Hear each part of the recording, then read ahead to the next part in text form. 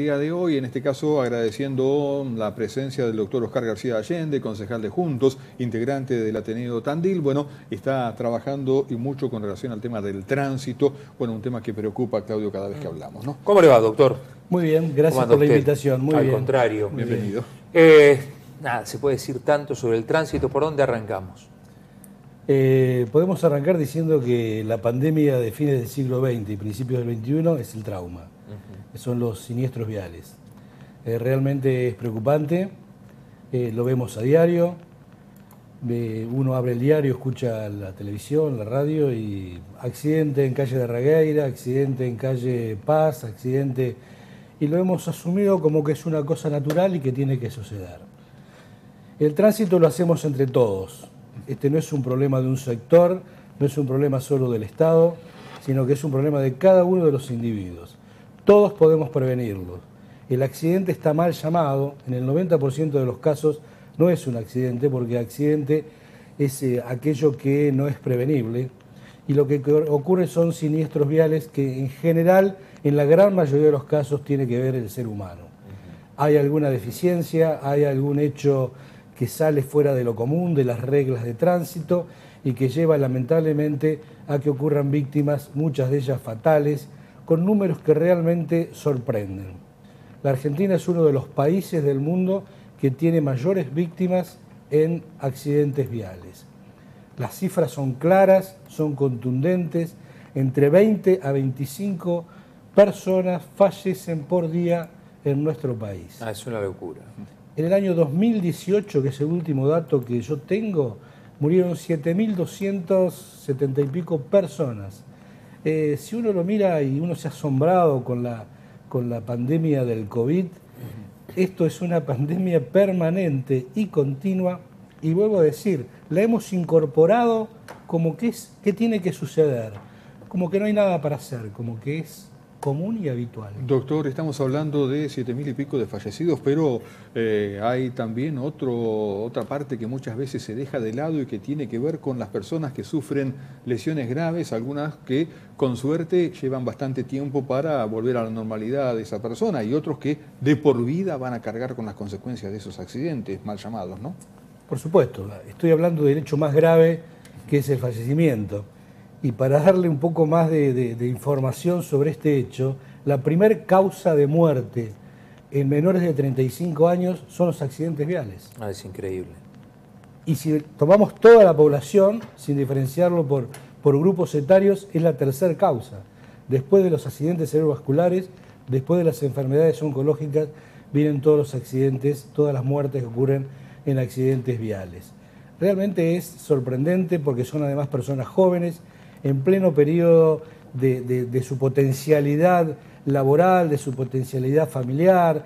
Muchas veces son padres o madres que tienen chicos pequeños, crean un verdadero drama familiar, trae problemas laborales, trae problemas de tipo económico y por supuesto, como decís vos, Rodolfo, más allá de los muertos, que es lo más grave, existen los accidentes. Y los accidentes en general son traumatismos de cráneo, por ejemplo, en los que andan en motos o motocicletas o bicicletas, que no usan casco y que es un elemento que protege contra este. Ese paciente permanece en terapia intensiva un promedio de 30 días, lleva seguramente intervenciones. Estas intervenciones llevan, llevan prótesis, tornillos, diferentes elementos. Estos son costos y costos y costos.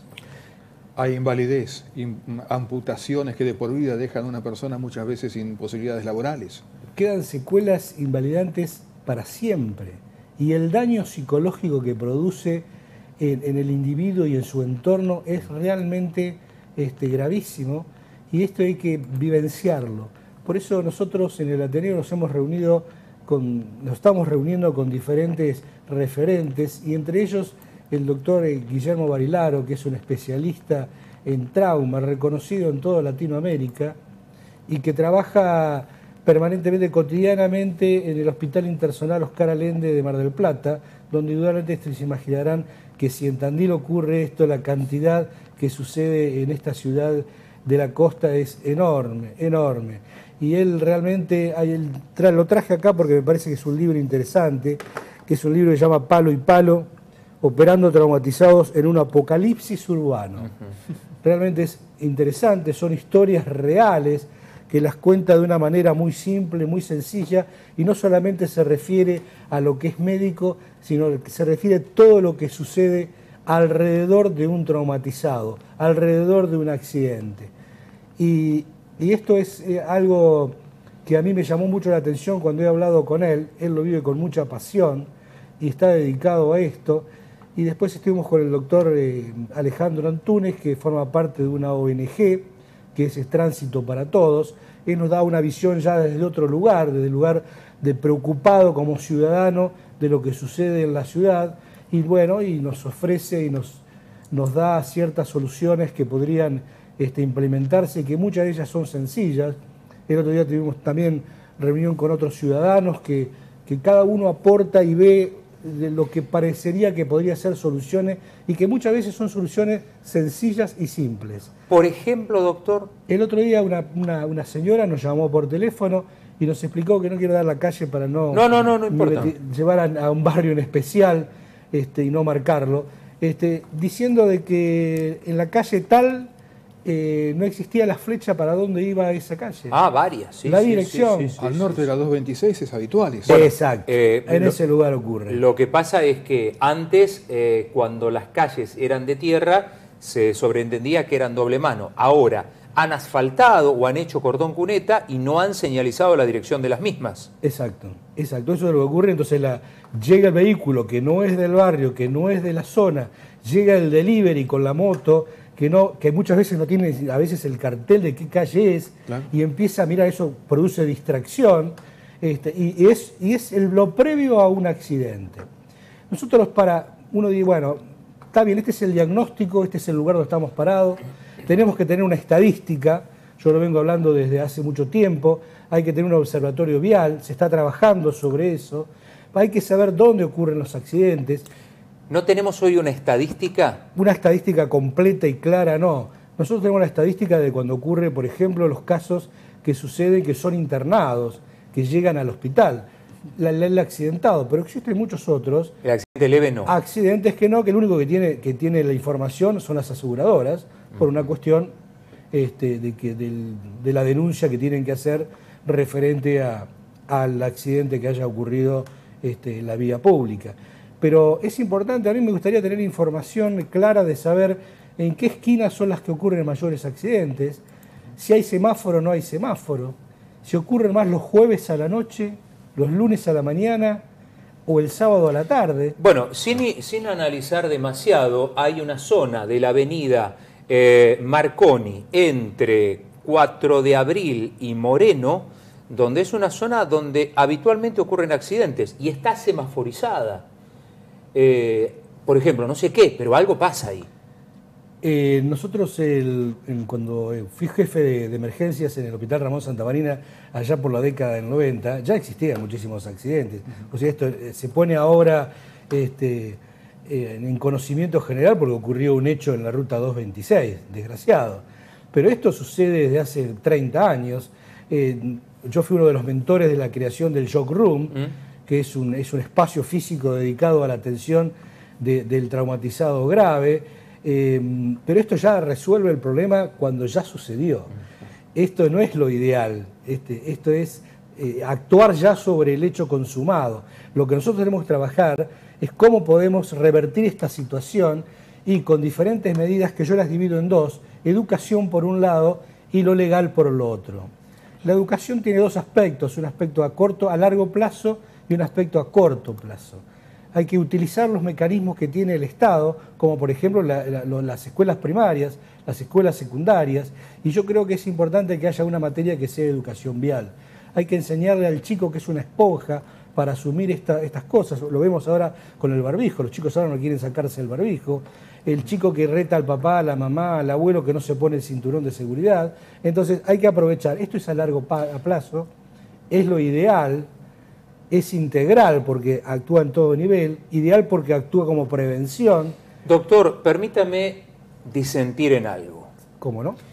Eh, siempre que se habla de educación vial, obviamente se habla de la educación del que maneja, del peatón, del ciclista, que está manejando, obviamente.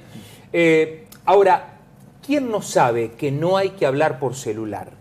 ¿Quién no sabe que hay que parar en un semáforo? ¿Quién no sabe que hay que darle la derecha al que viene por, por esa mano? ¿Es una cuestión de educación realmente? Eh, Estoy total y absolutamente de acuerdo, pero esto no he terminado de hablar. Perdóneme. Perdóneme. Por eso dije que eran dos aspectos. No, no, pero porque siempre se hace. Que uno está encadenado con el otro. Cuando hablamos con gente del Ejecutivo, dice, no, por la educación, porque no se puede poner un inspector al lado de cada auto. Y tiene razón, es verdad. Pero la verdad que yo con, con el tema de educación. Eh, soy un poco incrédulo, eh, quizá una campaña a mediano o largo plazo, bueno, bien hecha, a lo mejor da sus resultados. Esto se viene hablando desde que yo tengo uso de razón y Tandil no ha cambiado en absoluto, al contrario, ha empeorado. Es decir, que si se han hecho campañas, que de hecho se han hecho, no creo que hayan servido para, para mucho. Pero usted hablaba de educación, pero faltaba la otra parte. La educación es algo permanente y que actúa a largo plazo hay que actuar en el primario, en el secundario, cuando se da el carnet de conducir, no solamente cuando se da en la primera vez a los 17, 18 años o 20, cuando saque el carnet, sino que en cada renovación tendría que hacerse una pequeña, una pequeña mm, examen, un, repaso, un repaso de las cosas más importantes y recalcarlas. Y yo sobre todo apunto a la juventud, a la gente joven, que es la que va a transmitir. Eh, antes se fumaba en los lugares espacios cerrados y a nadie se le ocurría y estaba el fumador pasivo. Y nadie, y todos sabíamos que el, que el cigarrillo produce cáncer de pulmón al que fuma y al que está al lado. Y con el tiempo, y hace 20 años atrás, ¿quién se hubiera imaginado que no se podía formar en un restaurante, en cualquier lugar público cerrado? Y llegó, y el cinturón de seguridad, hace 30 años no lo usaba nadie, lo usaban el 10% de las personas. y con la insistencia y con, el, y con y con el, pedido y con los chicos que lo dicen se vuelve. Y esto es así. Y la cuestión punitiva también. Y después viene lo legal. Se, puso mucho, se hizo mucho hincapié en esa cuestión también. Lo legal no es lo ideal, porque ya actúa generalmente cuando el hecho ha ocurrido. No es integral porque actúa sobre una población en específica que es el infractor, pero es fundamental e importante. Y yo creo que hay que legislar sobre esto y decir cuándo cuándo eh, hay que sacar el carnet este, por determinado tiempo, según el tipo de, accidente, cuándo hay que secuestrar el vehículo, cuándo tiene que ir a prisión.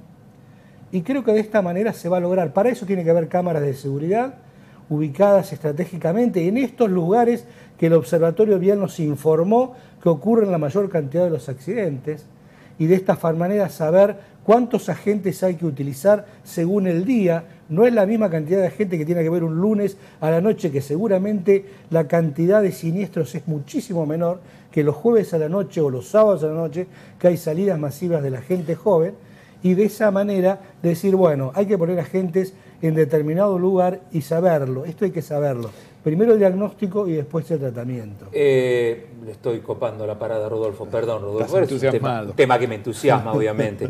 No, le, quería agregar que hoy por hoy, obviamente, la gente es imprescindible, pero hoy por hoy la tecnología ha mm, digamos, reemplazado en muchos casos a la gente de tránsito y es la tecnología directamente cuando hay voluntad política de hacerlo, es la que directamente labra las infracciones, dejando inclusive una constancia. No tenemos que ir muy lejos. ¿eh? El, exceso de velocidad quizás es, lo, es la multa que más conocemos, con la famoso fotito que no llega a casa, pero hoy por hoy hay eh, otras eh, herramientas que tienen que ver también con cámaras de seguridad que van, digamos, retratando o, o dejando la prueba de la infracción. Pasa que hay que tener voluntad política también para eso. Eh, no hay que mirar solamente desde el punto de vista de recaudatorio. Estoy de acuerdo. Fundamental. Porque si solamente se busca lo recaudatorio, no vamos a llegar a nada. Esto no tiene que ser espasmódico, tiene que ser permanente, tiene que ser una política de Estado y una decisión que tiene que tomar el Estado. En este caso, el Estado, el Estado municipal. Eh, el otro día estaba averiguando sobre el tema y veía que en España, que había muchos siniestros viales, tenían 55.000 muertes por año por accidentes viales. Con estas medidas que yo relaté previamente de educación, sobre todo las legales, sobre todo las punitivas, lograron descenderlo a 1800. ustedes calculen de 5.000 a 1.800. Si nosotros tenemos de 20 a 25, si lográramos bajarlo a 10, imagínense la cantidad de vidas que estaríamos este, este, salvando. ¿Cuántas familias estaríamos no llevándolas al drama que, ocasiona esta situación? La muerte de alguien en un accidente o la invalidez permanente, definitiva, de gente generalmente, gente muy joven. Como hombre de la medicina, muchos años justamente en emergencia, como usted planteaba, eh, lo que tiene que ver justamente con la ocupación de camas que generan este tipo de accidentes, eh, ¿se puede hablar que de alguna manera mm, saturan o llevan a que haya riesgos de saturación de los sistemas de salud? El accidente tiene este otro aspecto que yo lo dejé de lado porque es los costos, este, la parte económica, que realmente es altísima. Generalmente los accidentados este, tienen un promedio de tiempo en terapia intensiva de 30 días. O sea, significa que esa cama está ocupada durante un mes por un individuo, por una persona que le ocurrió un accidente, entre comillas accidente, porque podría haber sido seguramente prevenido, lleva muchísimos insumos, lleva cirugías, lleva prótesis, y el promedio, sin entrar en grandes intervenciones, el promedio por día son de 100 mil pesos alrededor, hoy en día es muy difícil calcularlo porque con el 4 o 6% de inflación es muy difícil y muchos de estos productos y muchas de estas medicaciones son este, importadas y tienen valor dólar. Y entonces, bueno, este, esto es, se va multiplicando permanentemente. Pero es un costo muy alto que uno podría, esa cama la podría destinar para la CB, para el infarto, para otras situaciones y, esos, y, eso, y eso, ese dinero podría ser distribuido en compra de aparatología, de otros insumos necesarios, de campañas de, diferentes enfermedades, etcétera, etcétera, etcétera. Y el 100% de los accidentados o el 99% va al sistema público, en un primer momento por lo menos. En, lo que es emergencia eh, no da ganancia. La emergencia es muy cara porque hay que mantenerla 365 días del año, las 24 horas, y hay que tener toda una estructura montada con diferentes especialistas, con aparatología permanente, por eso el que se hace cargo normalmente en todos los lugares de los accidentes es el Estado. Nuestra ciudad tiene un, servicio de emergencia excelente, con profesionales muy bien formados, capacitados.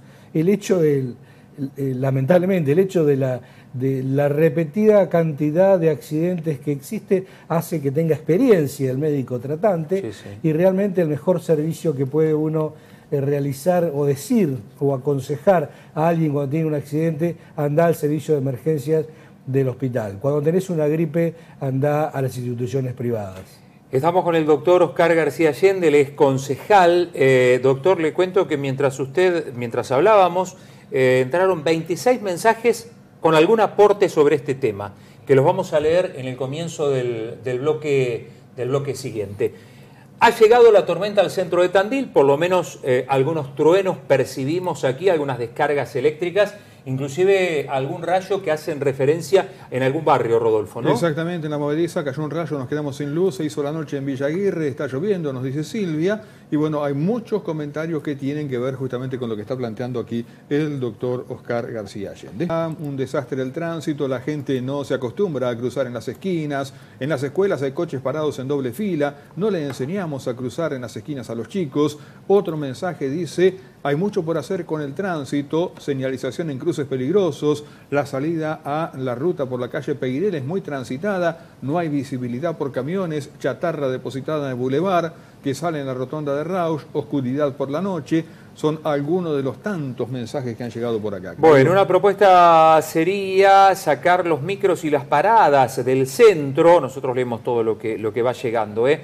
Eh, dice, podrían centralizar todo en eh, la Plaza Independencia, bueno, por ahí es una, una, contradicción, porque para llegar a la plaza hay que pasar por el centro casi siempre, podés venir por, pero venís por micro macro centro. Eh, ¿Algo más, Rodolfo? Eh, gracias por estar, doctor. Por favor, eh, Figueroa y de Roxas, día por medio de accidentes. necesitamos un semáforo, dice María por acá. Rosales y Palacios, en un jardín hay un cartel de contramano que está arrancado. Dice, usan Rosales doble mano cuando no lo es. Llevo a mi nene al maternal y es peligroso, por favor, hay que hacer algo. Está lleno de niños, dice Florencia. Las motos y las bicicletas no respetan los semáforos y el tema central es el celular. Muchos manejan hablando y escribiendo. Sí, totalmente. Ah, me río por no llorar. El ángel que me salvó la vida es usted, doctor. El doctor García Allende, eternamente agradecida, lo amamos. Dice, cuando llegue al Senado, proponga un proyecto eh, para que... ¿Se va a ir, va a ir el candidato? Ah, no, porque capaz que sabían algo que no Me causa sabían. gracia. lo dice. No, no, dice, eh, proponga un proyecto para que todos los que padecimos cáncer nos podamos jubilar antes, no importa la edad, por incapacidad. Dice, es una miseria, aunque sea una jubilación mínima. Bueno, por ahí los que han quedado con alguna dificultad. Otra gente ha tenido cáncer y se ha curado totalmente, gracias a Dios y a los médicos, ¿no? Exactamente. ¿Algo más? Perdón por mi opinión, pero conciencia del que manejan, digo, viví en la avenida Rivadavia, un desastre, las motos en un horario exacto, los domingos es calle de nadie, dice el mensaje por acá. Mirá esto, acá nos mandan una foto de antes y después. Aeronáutica Argentina y Muñiz. Cartel con los nombres de las calles y la dirección de la calle. Sí, Y la dirección de las calles. Pero esta foto es vieja. sí, aparte Muñiz con doble mano. Muñiz con doble mano, no sé. Después nos manda otra foto donde a Muñiz le sacaron, claro, evidentemente no era doble mano, doble mano. estaba mal puesto y le sacaron directamente la dirección. Quedó solamente la de Aeronáutica Argentina. El nombre de la calle, como está en muchas calles, lamentablemente, allí por la zona de Villaguirre también. Es verdad. Buenos Eh, días, sí. chicos, y al doctor Eminencia. La señalización eh, también es parte de los carteles y otros de daños. Yo no me preocuparía más por la responsabilidad ciudadana eh, y no por los gastos y tornillos. Dice a veces dan carnet a gente que no se cuida, que no cuida su vida, cuanto menos que cuide al prójimo, pero hay muchos irresponsables manejando. Totalmente, no todo es cuestión de educación, es cuestión de control. Si no hay multas o sacar el carnet, dice, u otros, eh, parece que nadie sabe. Hay que, hay que controlar, si no, eh, mientras tanto miran para otro lado. Dice, mientras miren para otro lado, los ratones bailan. Por acá nos dicen, eh, sumaría mucho que el municipio saque parcialmente a los agentes del tránsito de las cuatro manzanas del microcentro, que haga cortes en las escuelas, por ejemplo, en Marconi la onda verde se hace ir a 70 kilómetros por hora, habiendo escuelas, es terrible, los giros a la izquierda en la avenida Bardín también son un problema, hay que señalizar, hay que hacer más controles. Y el colmo es que en la escuela normal haya triple fila de estacionamiento al horario de entrada y salida. Bueno, dice acá en las escuelas se ve a los papás cruzando por la mitad de la cuadra delante de los inspectores y nadie les dice nada. Claro, porque como dijo el doctor, y hay un eslogan, el tránsito lo hacemos entre todos. Los que caminamos también hacemos el tránsito. Eh, los inspectores están ahí parados, dice, y de vez en cuando con el teléfono en la mano. Dice, por favor, que les indiquen a cruzar por la esquina. Y acá agrego algo. Vos vas a ciudades como Carlos Paz eh, u otras ciudades de Córdoba. Eh, Córdoba tiene muy bien eh, el sistema del, del tránsito y del control. Exactamente. Ahí te matan con las multas porque además te agarran con los radares que vos no ves.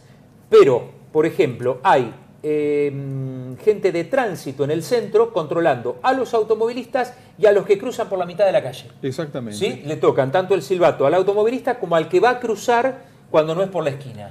Exacto. Acá esto es año, o sea, año verde. Hay, y hay ciudades con conciencia donde la prioridad realmente la tiene el peatón, como Bariloche, por ejemplo. Bueno, otro lugar donde se respeta. Doctor, eh, vamos a tratar de leer más mensajes, pero no le queremos quitar tiempo.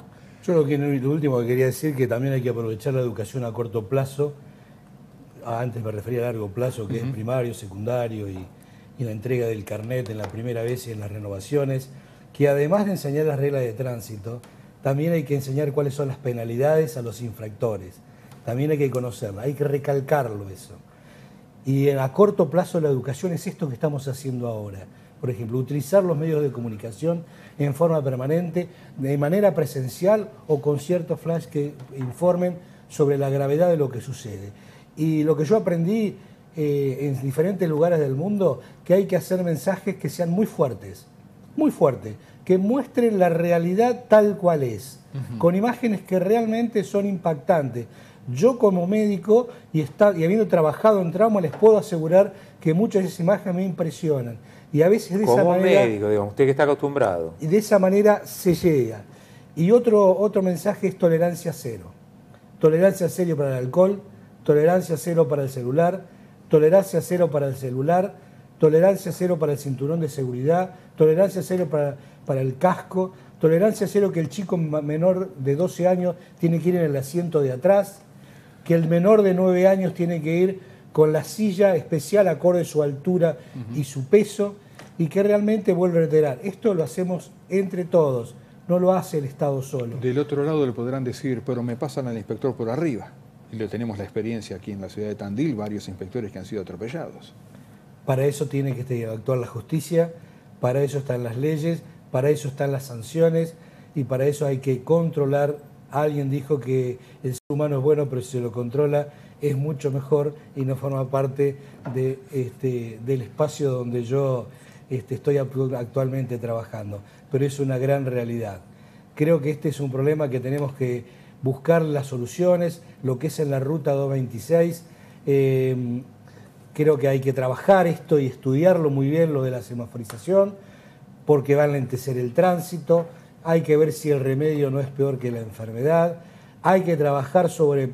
Realizar una ruta es un costo y en este momento de nuestro país, con la deuda externa que tiene, con los problemas de inflación, con los problemas que todos conocemos, pensar en una ruta nueva, trasladarla es trasladar el problema a 20, 30 años, este, hacerla eh, por encima de la ciudad es un costo enorme, eh, quizás se pueden hacer puentes, quizás se pueden hacer túneles, que sean exclusivamente no para automóviles, micros o camiones, sino exclusivamente para peatones, para bicicletas y motocicletas. Lo tendrán que estudiar los ingenieros que conocen de este tema. Y los carteles, la cartelería es otro problema, la señalización.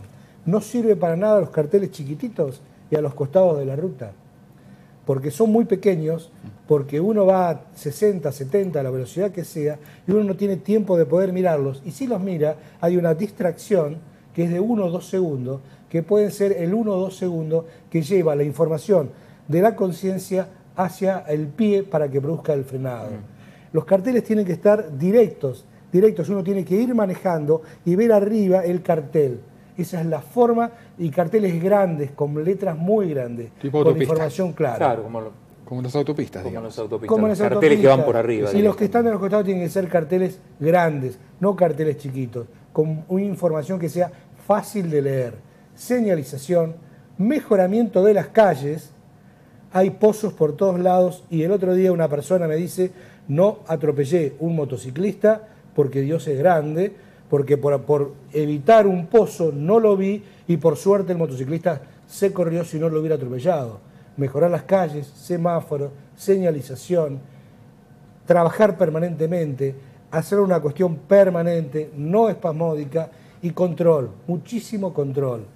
Uno de las personas que hemos charlado nos informó, estoy tratando de averiguar, que el 9 de julio, y creo que en Saladillo también, han hecho un eh, motódromo, sería un autódromo de motos, donde, bueno, tienen que, los que quieren, son gente, son gente joven, que quieren desarrollar picadas, etcétera, etcétera, con el casco correspondiente, con todas las medidas de seguridad, con el carnet, etcétera, y con control pueden desarrollar esa energía juvenil que tienen y hacer todo el ruido porque está alejado del centro de la, de la ciudad, de la parte urbana. Sí, sí. Eh, doctor, muchas gracias. Eh, es un tema que da para mucho. Vamos a seguir leyendo mensajes en el próximo bloque que llegan para para el doctor García Allende. Eh, ah, ¿Quiere leer. Doctor García Allende, muy buen profesional, mejor persona, dice la familia de Felipis. Muy bien. Gracias, familia. Así que vamos a seguir con el tema. Eh, uno de los temas que más da para hablar es justamente el tema del tránsito aquí en la, ciudad de Tandil. Así que le vamos a volver a convocar, doctor. Bueno, yo les agradezco muchísimo esta oportunidad y permanentemente estoy a disposición de ustedes y recuerden que la educación a corto plazo son los medios de comunicación. Gracias, es una gran responsabilidad. Muchas gracias. el doctor García Allende es concejal eh, de Juntos, bueno, charlando aquí sobre la problemática del tránsito, nada más ni nada menos.